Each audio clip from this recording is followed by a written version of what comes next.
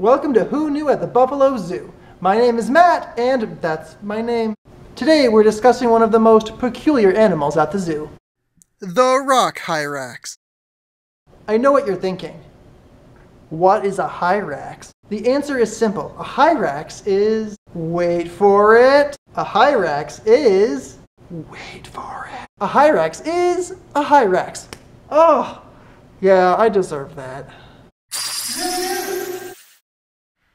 Rock hyraxes are mostly found in Africa, but there are some populations in the Middle East. But what are they?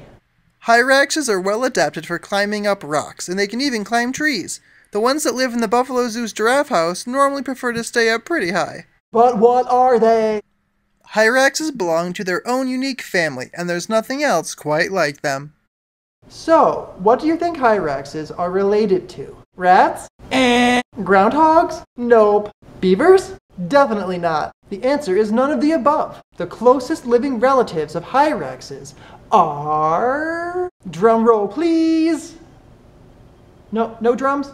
Okay. The answer is elephants! Not what you were expecting, huh? Hyraxes and elephants have similarly structured skulls and toes, and Hyrax's upper incisor teeth look like little tusks. Little baby tusks. But even with those, it's still pretty hard to believe. Hyraxes and elephants. Who knew?